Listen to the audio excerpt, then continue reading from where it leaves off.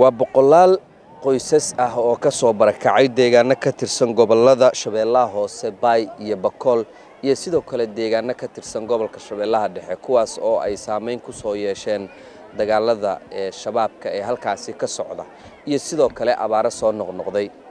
Santarkan ceebdiid waxaa ku midaysan oo uu ka kooban yahay ilaa dhowr kaam. Dadkanna waxa ay yimaadeen sida maamulku ay noo sheegeen saacadihii iyo maalmihii ugu dambeeyey. Waxa ay iskugu jiraan carruur yaryara hooyooyin dad waayeela iyo dad xanuunsan oo aan haysan dawooyin iyo sidoo kale waxyaabaha qotul daruuriga ah.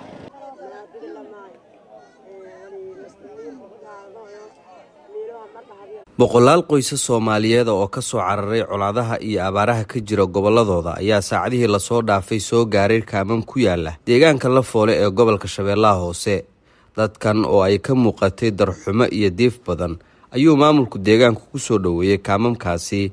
Inkastoo aysan ka helin wax daryeel ah sida meelo ay ku hoydaan cunto ay cunaan daawo iyo baahiyaha kale ee asaasiga ah. Qaar ka mida dadkan soo barakacay ayaa shabeelle u sheegay duruufaha ay ka soo carareen iyo kuwa hadda ku haysta meeshii ay soo miciinbideen maadaama walaalahayna tihiin oo hadda noo wacdeen madaxdayna tihiin annaga qabriyaa ku jirnaa qabriga naga soo bixiyo nin qabri ku jiraanahay qabri qabri. Yah baayaana dishay laf ma haasta dhulka ninka iska leh waxaa waaya bisha markaa dhammaato waa ii imaanoyaa waxaa leeya kiradaysi lacagaa ku degannaha dhulka. Nin maanta hay'ad ii imaado laf isiisana ma jirto. Iradan anta igu soo baxda haddaa wax noo qabanaysa ilaahay ka baqa. Waxaa idinku odsahaynaa gaddoomiyihina waa imaqlayaa waxaa idinku odsahaynaa war anaga waxaana siiyey alooshayna wax noo geliyey bisha markaa la gaarana wax aan aska dabirno oo moobeelladaan wax ku soo dhacaan na siiya noodooda adduunka noodooda haareer adduunya idinka markaa tihiin.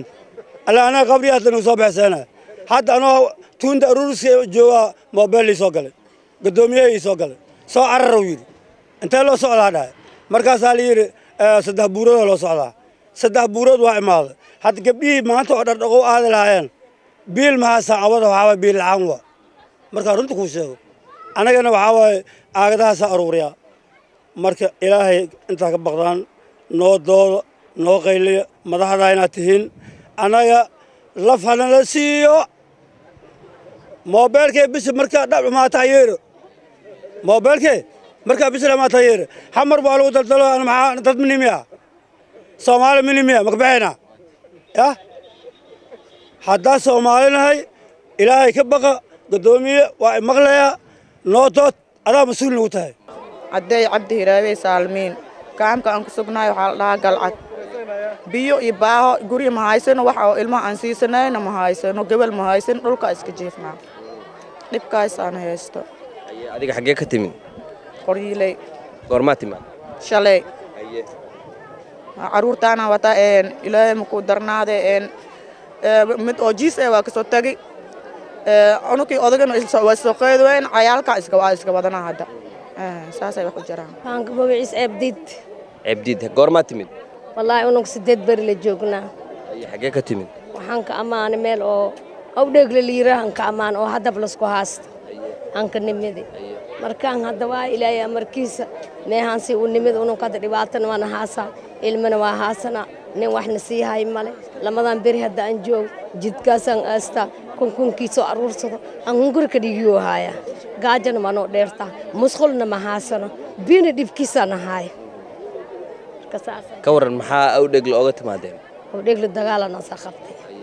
Haddana hadda weli waa lisahaya dhibaa uu soo roornay unug nuur ibraahim cismaan guddoomiyaha deegaanka lafoole ayaa dhankiisa hay'adaha gargaarka madaxda maamulka koonfur galbeed iyo madaxda qaranka u diray qayladhaan ku aadan sidii loogu soo gurman lahaa dadkan isagoo dhanka kala sheegay in inta badan ay hay'adaha samafalka iyo madaxda soomaaliyeed dhagaha ka furaystaan.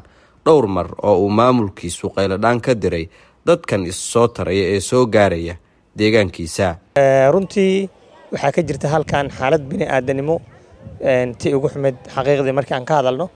Sidaas si la mid ah waxaan dhihi karnaa waxaa ka jirto xaalad macluul way ka gudubtay bini aadanimo dadkan waxay isugu jiraan dad iyo aad u tiro badan.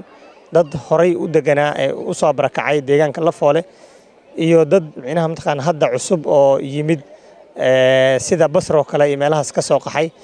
Waxa ay ku jiraan kuurgalidda xaaladda halkan markaa nimidna waxaan aragnay xaalad bini'aadanimatii ugu xumeed oo aad u liidato. Waxayna u baahan yihiin dadkan hay'adaha n g o-yada iyo waxaasoo dhan inay u gargaaraan. Iyo cid allaalo ciddii maxaan ku rahdaa wax u tari karto. Waxaan filayaa sidaas oo kale intaan oo jeer in ka badan saddex jeer warbaahintaan la hadalnay.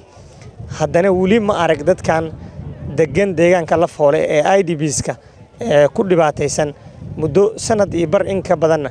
Wax hadda oo maxaa la yidhahdaa isha gargaara soo gaaray maysan jirin. Xaqiiqdii arrintaas waxay tahay arrin aad u cajiiba halkan aad ujeedaan magaalada muqdisho inta ay u jirto. Hadday noqoto hay'adda maarinta musiibooyinka iyo iyo hay'adihii dawliga loogu talagalay inay wax soo gaarsiiyaan ay ahayd haddana xaaladda ay ku sugan yihiin runtii wax aad u cajiiba waaye.